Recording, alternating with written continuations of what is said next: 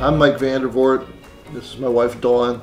And we're at retirement age and we had decided we wanted to downsize and we started looking around and and Burkentine was the one that stood out to us as, as seemed to be a good quality home. We used to joke and say, "Oh, we want to live on a golf course in our backyard," and we actually have it right out in the backyard. You we have our golf course. I've even started little home brewing down in the basement, so that that's been a lot of fun.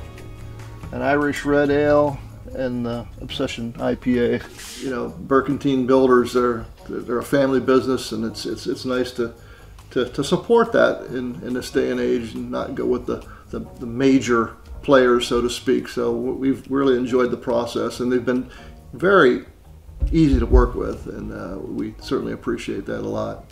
We're looking forward to the years we're going to spend here.